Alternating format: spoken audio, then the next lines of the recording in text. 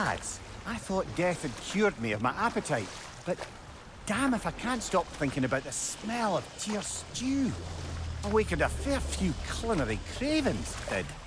Black pudding, haggis and neeps, oh! Porridge and honey. What about you, brother?